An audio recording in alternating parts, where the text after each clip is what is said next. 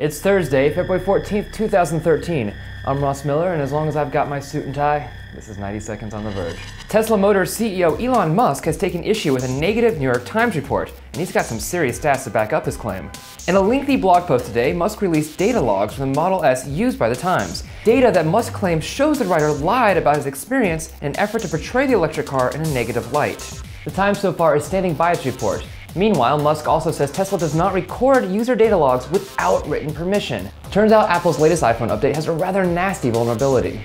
A security flaw in iOS 6.1 lets anyone bypass your iPhone password lock and edit your contacts, check your voicemail, and look through your photos. Apple says it'll, quote, deliver a fix in a future software update. At least your sexting and Snapchat messages are safe. Finally, it's a bird, it's a plane, it is Ender's Game author and vocal gay rights opponent Orson Scott Card. DC Comics is under fire this week after Card was selected as one of several guest writers for a new digital anthology, The Adventures of Superman.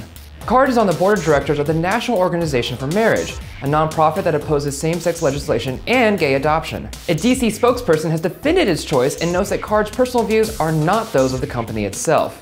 Just remember, Superman serves and protects everyone, regardless of their beliefs. Also, really likes blue tights. That's it for today's top stories. Coming up tomorrow, strange news from another Stark, the Iron Man musical.